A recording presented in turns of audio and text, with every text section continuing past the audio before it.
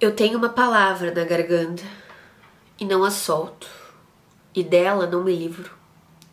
Ainda que me arraste seu empurrão de sangue, se a soltasse, queimaria o pasto vivo, sangraria o cordeiro, faria cair o pássaro.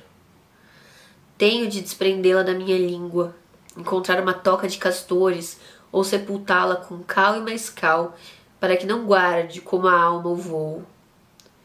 Não quero dar sinais de que vivo, enquanto que por meu sangue venha e vá, e suba e baixe por meu louco alento. Ainda que meu pai Jó tenha dito, ardendo não quero dar-lhe, não, minha pobre boca, para que não rodeie e a encontrem as mulheres que vão ao rio e se enrede com suas tranças. Ou ao pobre matagal retorça e abrase. Eu quero lançar sobre ela violentas sementes que em uma noite cubram e afoguem, sem deixar dela o cisco de uma sílaba, ou destroçá-la assim como a víbora que ao meio se divide com os dentes. E voltar para minha casa, entrar, adormecer, separada dela, fatiada dela, e despertar depois de dois mil dias recém-nascida do sonho e do esquecimento, sem mais saber que tive uma palavra de iodo e pedra ume entre os lábios, nem saber despertar-me de uma noite, de uma morada em país estrangeiro, da cilada e do raio à porta, e de minha carne vagando sem sua alma.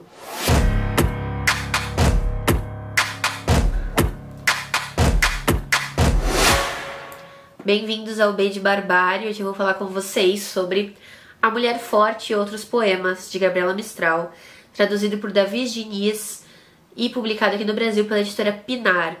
Lembrando a todos que não conhecem a editora Pinar, é uma editora que publica seus livros por financiamento coletivo. Eles sempre têm alguns exemplares logo após o fim do financiamento, mas não são muitos. Então, caso vocês tenham interesse em algum livro do catálogo deles, vale dar uma corridinha para garantir. Hoje em dia, essa é a única coletânea de contos da Gabriela Mistral disponível em português e que seja adulta. A edição Olhos de Vidro também tem um livro de poemas da Mistral, mas é voltado para o público infantil.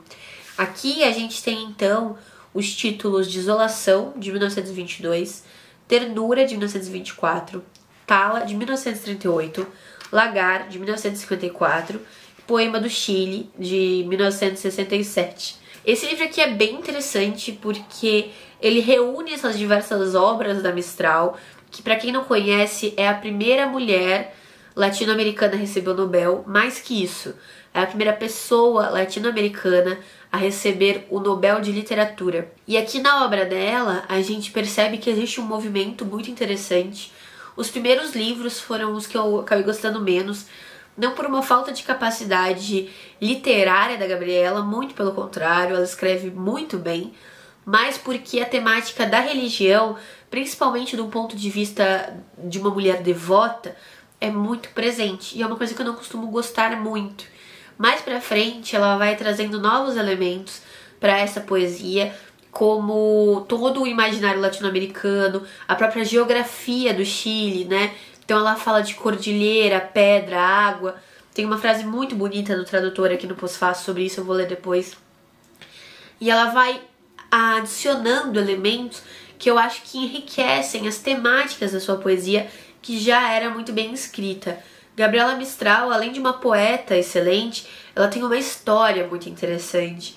Ela foi responsável pela implementação de sistemas de ensino em diversos países da América Latina, não só no Chile, mas essa discussão sobre a educação também das mulheres, dos povos originários aqui na América Latina.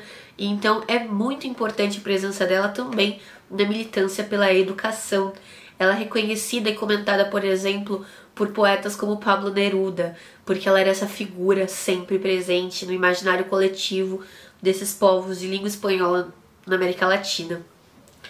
E a gente tem um pouco dessa recapitulação da vida da Mistral aqui no final, que eu achei bastante interessante, mas eu confesso que se eu soubesse o teor desse pós-fácil, teria lido ele antes, porque eu acho que ele pode ajudar, e aí fica a minha dica para quem ainda não leu, ele pode auxiliar muitas interpretações no sentido de a gente entender qual momento da vida Gabriela Mistral estava vivendo. Então a gente consegue entender porque certos elementos estão entrando ali. Não que isso seja necessário, mas eu gosto de fazer esse tipo de interpretação. E aí tem aqui a frase que eu falei para vocês, que o Davi Diniz coloca na, no pós-fácil. Ele coloca assim: Não será em vão ressaltar que a geografia chilena principia nos cumes dos Andes e termina nas margens do Pacífico. É uma paisagem que se arranca da pedra para lançar-se às águas. Talvez por isso o Chile não seja apenas um país, é também uma experiência de abismo e vertigem. E eu acho que é muito isso que a Gabriela traz aqui, porque ela tem essas personagens que estão nos seus poemas e que estão sempre à beira de alguma coisa. E tanto à beira de um precipício quanto à beira do mar, né? Então eu acho que é possível mergulhar e é possível desistir a partir dos pontos que a gente tem aqui, né? É sempre um tudo ou nada. E eu gosto muito dessa força na poesia da Gabriela. Em especial, eu gostei muito do livro de poemas Lagar, é o que eu mais fiz marcações. Eu não sei se vocês vão conseguir ver porque tem o corte, né, colorido, mas o livro tá inteirinho marcado aqui na lateral, desde os primeiros textos, né? A gente tem uns textos em prosa da Gabriela abrindo o livro. Desde esses momentos eu já estava marcando tudo, ela falando muito do fazer poético desse texto selecionado para abrir o livro, depois também muitos poemas escolhidos, porque eu acho que dá um bom panorama, né, da obra de uma autora que a gente não tem publicação no Brasil, infelizmente, e que é muito relevante não só pela sua importância literária quanto política. A gente depreende muito isso de alguns poemas dela. A gente vê como, apesar de ela ter feito uma tour pelos Estados Unidos, ela ter tido essa relação que não era de conflito com países que eram colonizadores, tanto territoriais quanto culturais da América Latina, que ela reivindica seu espaço nessa literatura, seja por essa geografia, seja pela mitologia, seja pelas crenças. Ela sempre pontua muito bem de que lugar ela fala, de onde sai a sua poesia. Eu também fiquei muito curiosa para saber um pouco mais sobre uma fofoca que eu fiquei sabendo por causa desse livro. Eu acho que pós-fácil bom é pós-fácil que tem fofoca. E a Gabriela Mistral, para quem não sabe, ela morou um tempo no Brasil. Tanto é que um dos textos aqui do início, se eu não me engano, ele é assinado em Petrópolis. E ela tinha uma interação ali então com o autor alemão Thomas Mann. E a, o Thomas Mann tinha uma secretária que era a Doris Dana. Quando o Thomas volta, né, para a Alemanha, se não me engano, ele estava exilado a Doris passa a acompanhar a Gabriela.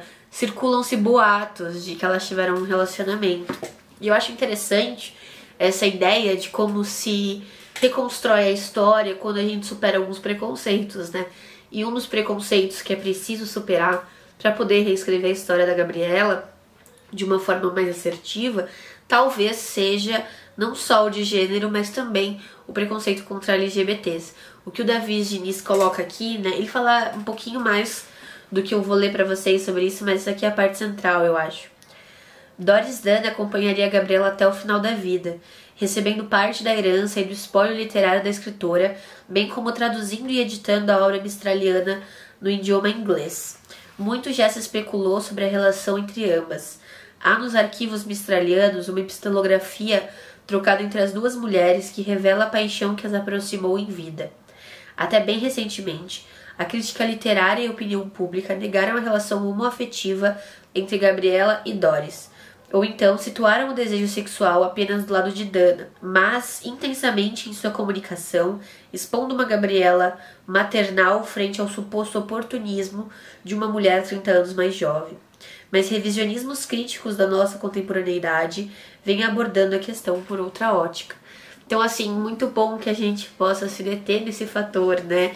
Gabriela, essa que, além de ter escrito este poema, é essa mulher forte, essa mulher militante que se coloca pelo outro, que tem uma vida política, literária importantíssima na história das mulheres, na história da América Latina, que tangencia tudo isso. Poder ter essa mulher com sua história valorizada, com seus afetos uh, bem recebidos nesse ambiente, até porque os seus afetos nada dizem sobre a sua produção literária, Eu acho que só temos a ganhar. Pode possibilitar diversas outras chaves de leitura nos poemas escritos após os encontros dela com a Doris Dana. E é isso, pessoal. Eu acho que sobre Gabriela Mistral não tem muito o que dizer. Eu acho que ela ela tem uma poesia que ela é muito peculiar. Eu acho que dentro da América Latina eu nunca tinha lido uma poesia tão formal. Eu não sei se isso tem a ver com o fato de que eu leio muito mais contemporâneas do que autoras um pouquinho mais clássicas, ainda lembrando que a, a acho que a, dá pra fazer esse debate aqui, né?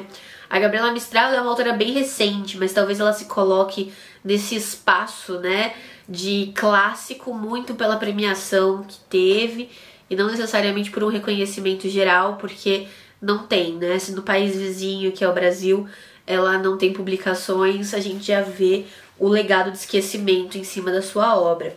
Mas essa, talvez, pequena introdução, um pequeno pezinho que ela tenha no cânone literário, né? É, já coloque como uma, uma autora clássica. A minha grande questão aqui com a Gabriela Mistral é que essas formalidades dela em alguns momentos me afastam, em alguns momentos me aproximam.